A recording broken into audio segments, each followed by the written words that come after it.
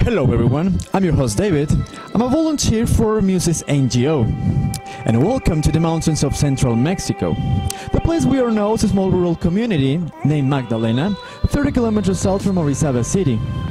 This is the town's public high school, and today I'm going to show you some of the work we do in order to promote equal and human rights. Please come with me.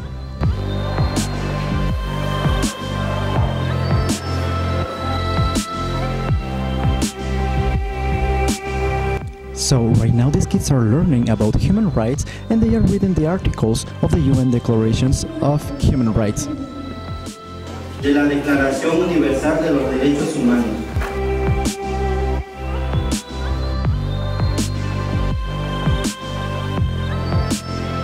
porque ye bits eh, se comunidad cachihueca que que tlen de nica se chanchiva tlen tanto tikchiva te de mucha anica Pues nen nime dos horas nikchiva de nimeva a las 5 de la mañana pa para nigualevas niga a las 6 niga pues a las 6 a fuerza de nibits para que na siga a las 8 bueno ye tlen yo tichile que ye pues bits de se comunidad hueca igual pues ye sigue niga a las 8 entonces me va te pizze cualca para ye sigue bueno tlatzocamate mía por amitla And we go to their communities to explain them either in Spanish or Nahuatl. With these videos, people have learned about human rights and how they can apply them in their daily lives. In addition, this is one of the tools that we use to explain them the different levels of violence. It was made by Polytechnic Mexican Institute and the different levels of violence that goes from uh, jokes uh, to lying up to the highest level of violence that is murder.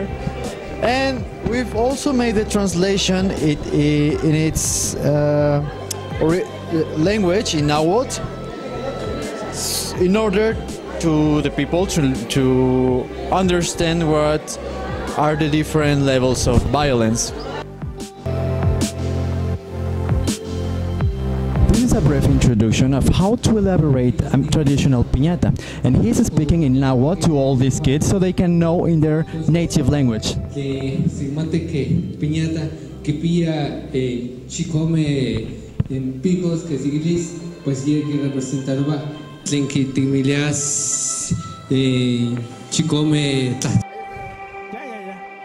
After this talk about equal and human rights, we are going to show you how we elaborate piñatas.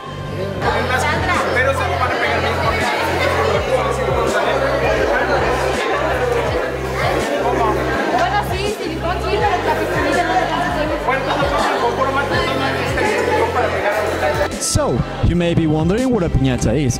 A piñata is a Mexican element used in different festivities. Right now we've heard about a little bit of the history of uh, piñata. In the year 1266 by Marco Polo and its origin were from China. In the year 1300s they were brought to Mexico in the year 1600s. It has different connotations, uh, different co- different elements, such as the pigs, which represent different sins. Piñatas are broken with a stick, which represent the the strength to combat evil.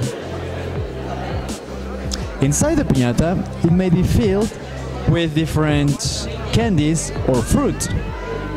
And once the piñata is broken, it is believed that evil was killed.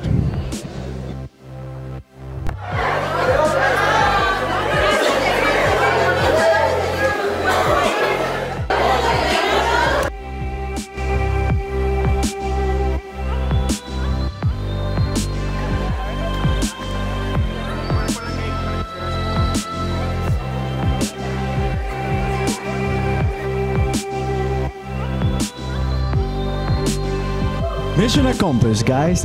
All the piñatas were done successfully thanks to the effort of these kids. Tlazocámate mía, yo soy tlen que sigue piñatas. Muchísimas gracias. Thank you very much for everything and for watching us. I'm David, and this is Proyecto